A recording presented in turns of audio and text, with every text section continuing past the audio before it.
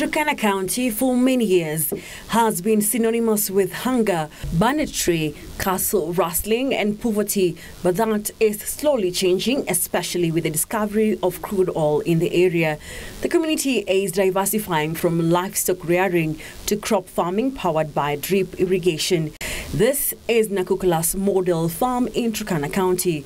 On this three-acre model farm, there are high-value crops such as lettuce, fruits, vegetables and indigenous trees. We have other crops um, and many different trees in our nursery. We have five target species in our nursery which are all indigenous, but then many others that we're trialing to see how they'll do in this environment. The model farm run by Barefoot International is using organic gardening techniques which use ways that maintain the good health and life of the soil.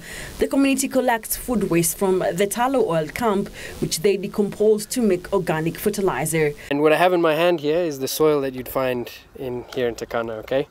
Um, what we've been able to do this year with this soil organically is quite incredible, okay? As you can see around the farm here with one year of growth, there's a lot of different things happening.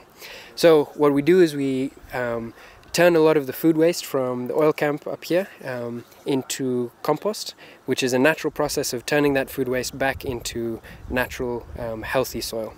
At the model farm, red worms dubbed red wigglers, which are fed with any kind of organic waste, such as leaves and rotten fruits. The red worms are reared for the purpose of fast-tracking the decomposing process, as well as ensuring the manure is of high quality. The women group in the region say the project has earned them cash to sustain their livelihoods. Tumeona ametusaidia, ametuinua katika mapato na ile vile hatukuwa naweza, lakini sasa tumechoweza. mm -hmm. Pengine tumepata chakula, hata pesa tumepatako tangu tuanze mpaka sasa. Watoto yetu hata wenye walikuwa wameshi, tumeshindwa tutapelekaje shule, watasomaje?